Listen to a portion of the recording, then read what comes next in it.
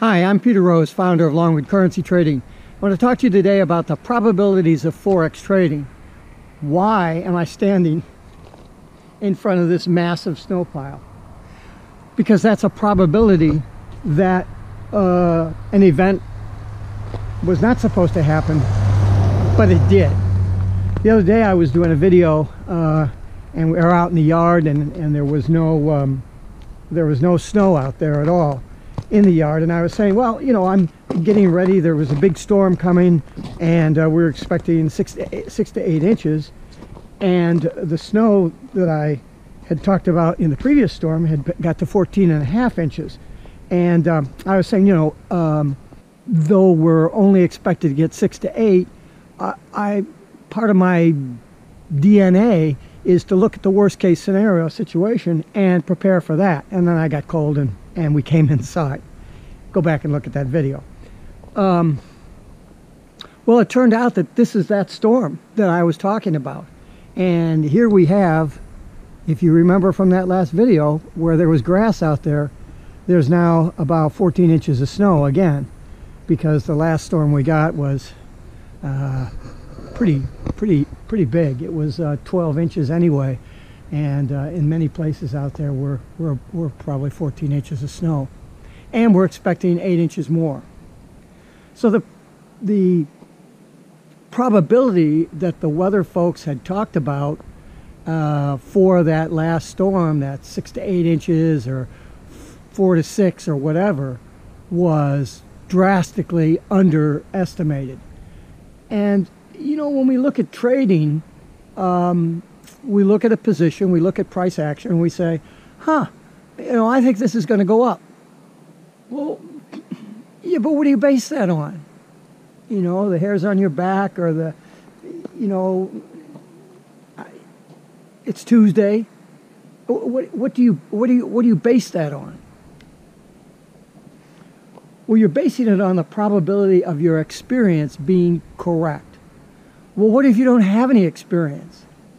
Well, then you have to know a little bit of math, and this is something that I work with um, with a lot of the folks that I that I talk with, is trying to simplify the math of probability to, to stuff that's just really basic and understandable because it can get really complex. And my feeling is that when you allow the math to get really complex, um, you're complicating the situation. You're complicating your thought process. You really have to whittle things down to their simplest components. Take your best guesstimate of that, and uh, and go on from there. You have to. In um, oh, and you know, I mean, I've got a BS in physics, almost a minor in math, and so I've d- done a lot of, listened to a lot of lectures on this type of stuff, and in um,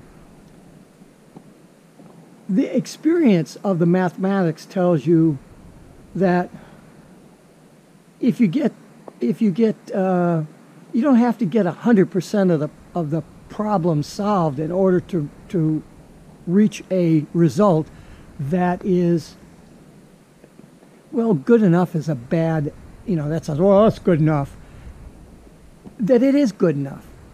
Um, if you're familiar at all with uh, mathematics, you know about Taylor expansions and things like that. They're just solutions like an equation, and you go, oh, here's a thing that you solve, and you add to that another thing that you solve to get a greater accuracy. Accuracy is stuff that goes on beyond the decimal point. You know, I saw 1.2435. 6793751. Well, when you're out to 251, does it really make any difference to, to tell you how fast your car is going? You know, you don't need any decimal points. You don't need, oh, I'm going 67.3 miles an hour. Uh, it's not really relevant, right? And so that's what the, the quants are doing in looking at the markets is they're looking at those far out decimal values over thousands and thousands and thousands of iterations because at some point something out at the sixth or eighth decimal point is going to magnify itself and bubble itself up to significance. You know, as a software engineer for 33 years doing business applications development, and uh, you would do calculations over. For example, I was doing I was doing some programming for a company that was writing reservations, uh, bookings and reservation software for airlines, and so you're dealing with thousands and thousands and thousands, tens of thousands of dollars a day of, of income from all kinds of different uh, sources.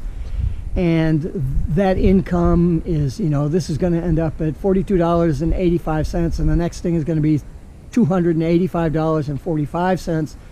And those 45 cents and 28 cents, if you add all those up, you constantly get more and more decimal places out at the end as the as you get more data, right?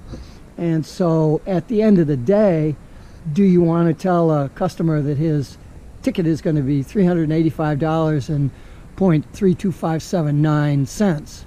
No. You know, you're $385.35 and that call it a day.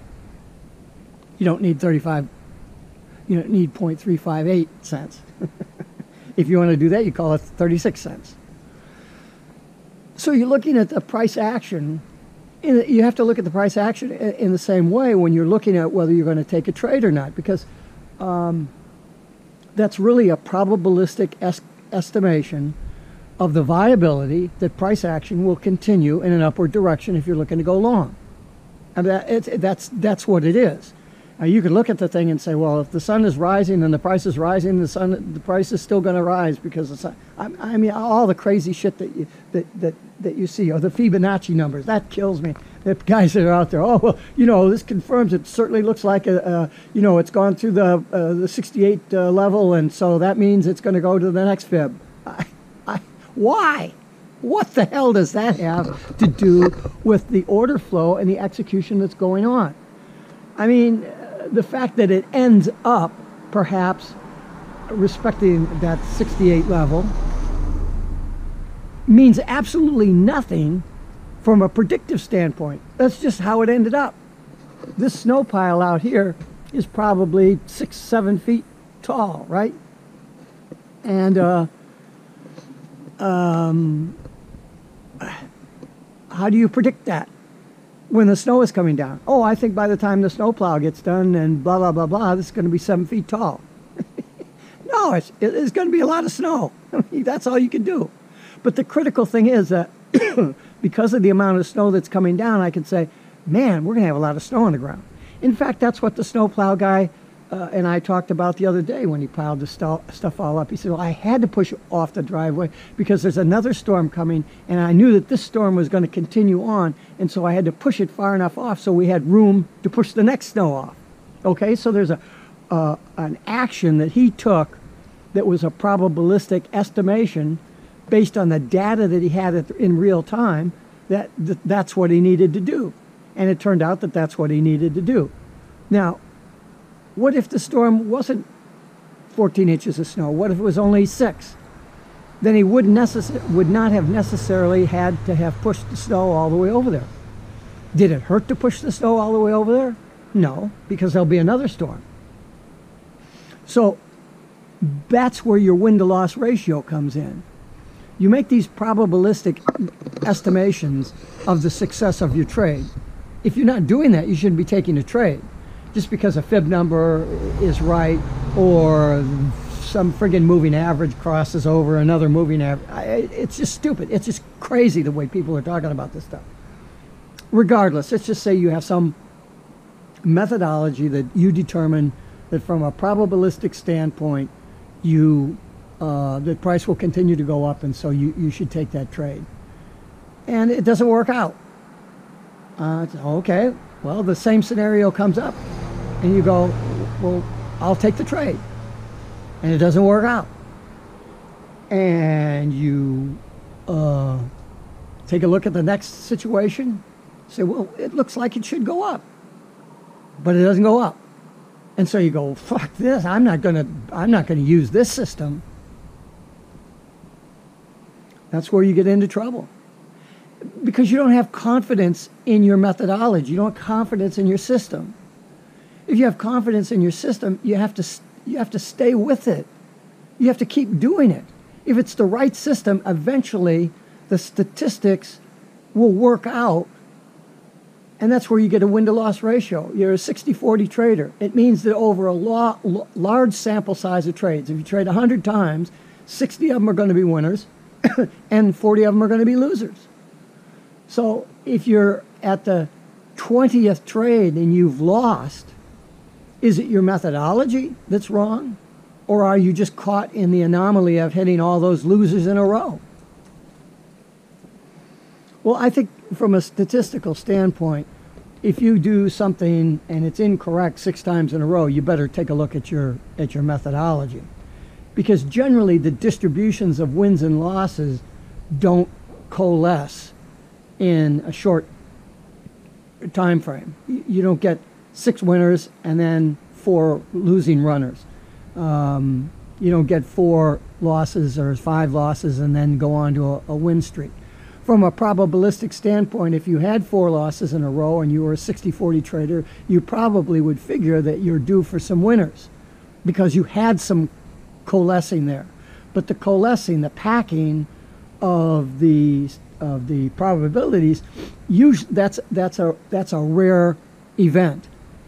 In a hundred trades, you may coalesce five percent of the time, eight percent of the time. So you don't base your methodology on waiting for the coalesce of your of your statistics. okay. You don't have to be a math wizard to do this. Um, I tried to simplify things to make it make sense so that you don't have to do any calculations. Only calculations that you're going to need to do is as you're trading and you've got 50 or 60 trades, what's your win to loss ratio at that point? After you get 100 trades, what's your win to loss? Is it different than the one at 50 or 60?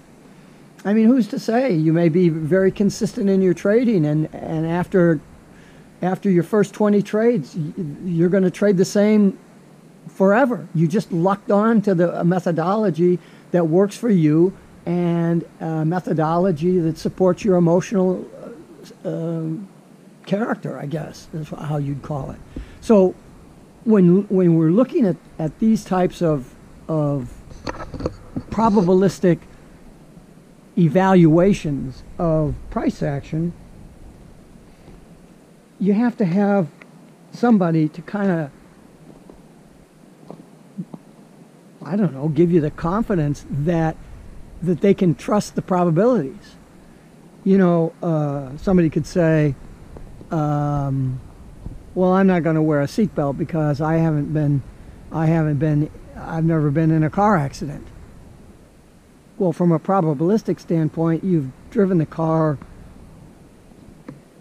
a thousand hours, let's say, and you've never even had a, a quick stop, and so you could say, well, I guess the chances of me running into a problem with uh, wearing a seatbelt, if this is not there.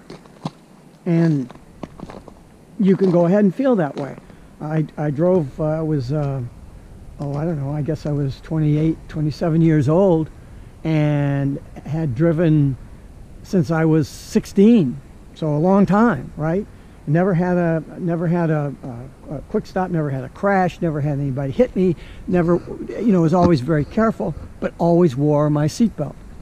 And one day I'm in town and driving down the road, and this person blew the stop sign and plowed right into the side of my car. Uh, my head knocked out, knocked, uh, knocked uh, hit the window and knocked that out. Screwed my back up for life, and. Um, if I wouldn't have had my seatbelt on, I could very well have been uh, killed. So you have to look at the at the planet killer events. Um, not putting a stop on. That's a planet killer. Because you'll go to sleep at night and then you wake up at seven o'clock in the morning and take a look and you've been and you've been margined out. Um, that's not the kind of thing that you do a probabilistic analysis of. you just look at the, wor- worst case scenario and you go, nah, I, I don't even want to look at the worst case scenario. That's why I, when I'm talking to folks about trading, and, and, and, and they say, oh, there's too much noise day trading, and what can you do in two hours? Well, you know, if you can't do it in two hours, what, you're going to sit there for 20 hours and do it? Really? Because of the fractal nature of price, in other words, it's like a leaf. You look at the edge of the leaf, and then you cut that down, and it looks the same down lower, and then you cut that back, and it, or the coastline. You know, you look at it way up high, and you have all these craggly inputs and stuff, and you come real close to, and you craggly things, and then you get down, so you're looking at the ground, and you have all that stuff. It's it, that's fractal, right? Um, price action is fractal. It doesn't matter whether you're looking at a one-minute chart or a, a daily chart the squiggles on the chart's going to be the same. You can't tell the difference between an hour and a daily chart if you take the axis off, right? And so, if you're going to trade, um, and you want to be a day trader, you're not going to be able to do that on the daily chart because you'll be there all day. you'll be there all week, 24 7, right? Um, you have to reasonably look at the time you have available for trading and work on your trading plan. And what does that plan call for? And what are the things that you need to look out for that are planet killers, account killers, and prevent that from happening?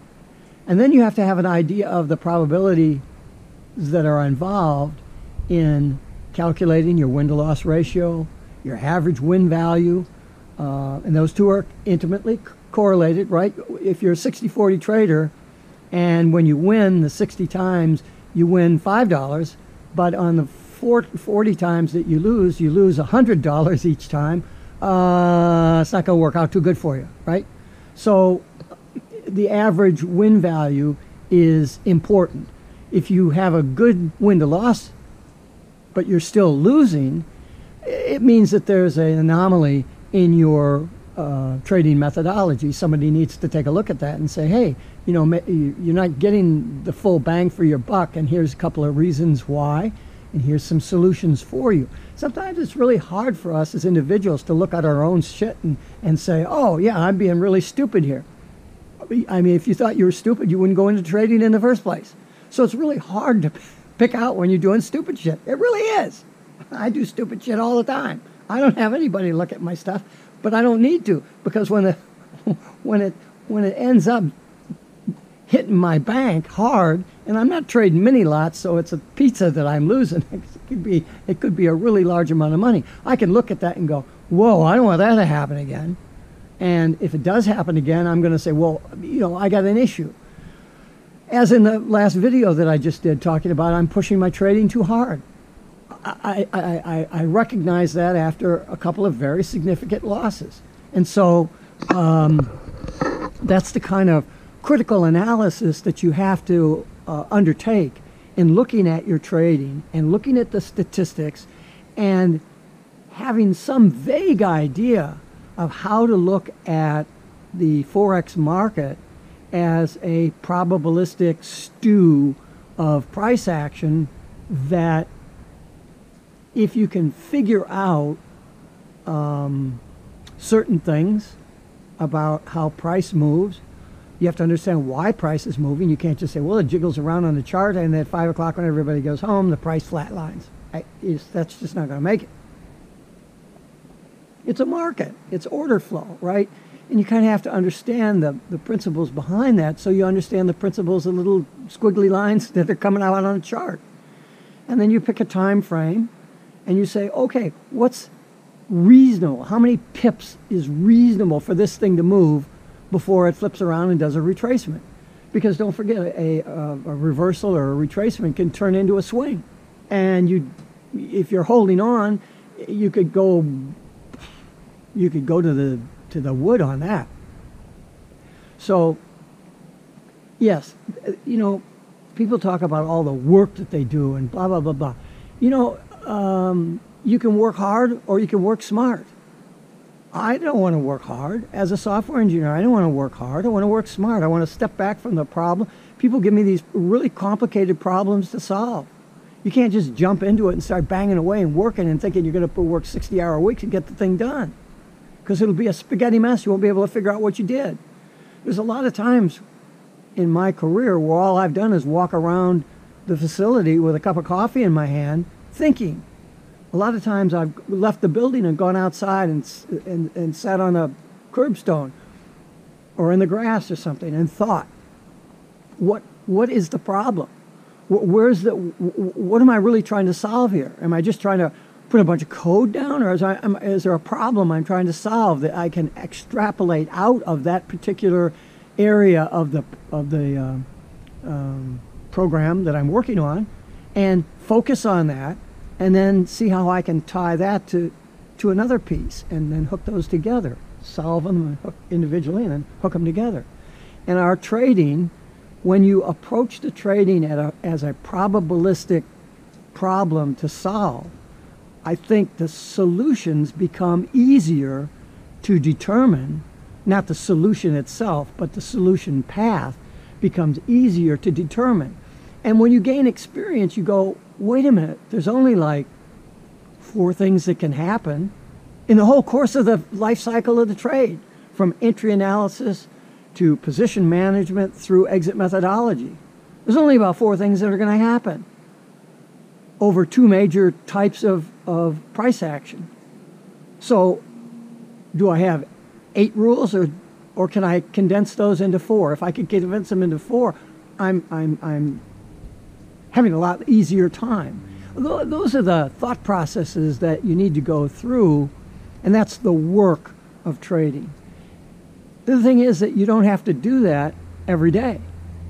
You sit down when you're starting to trade, you get a little experience trading some mini lots, and you work through those problems. I mean, that's what my instruction does. I'm not teaching you anything new. There's nothing new to teach you. It's how to use your thoughts and how to organize them and how to put them together. But that's why it's more expensive than anybody else because I have to work with you. I can't just throw a book at you and say, here, read this and you'll have the secrets of trading. If you think that's what's going to happen, well, don't send me an email because I can't help you. You know, I wish I could, but I can't. Um, and I'm not going to waste my time on you just because I, even if you wanted to pay me money, I'm not going to waste my time because I'm retired. Why would I waste my time with somebody that's not going to be successful? And then you're going to bitch. Well, some bitch charged me thousands of dollars and it didn't work. no, asshole. It didn't work because you didn't know what you're doing. You didn't want to do the work. So um, I learned this stuff the hard way through uh, 40 years of real estate investment, 33 years as a software engineer. I've been in the martial arts for 55 years. Um, I've been around the block. And early on, because I was interested in so many things, early on I realized I could get mired in the mud if I tried to learn everything. So what do I need to learn? How do I need to do it? You know, Tim Ferriss is a, is a master at that. Extrapolate out the key nodes that you need to do and solve those, and you've got 80% of the problem solved by knowing 20% of what you need to do. Really, it's as easy as that. Peter Rose, Longwood Currency Trading. Have a great day and have a great trading day because I'm cold and I'm heading inside.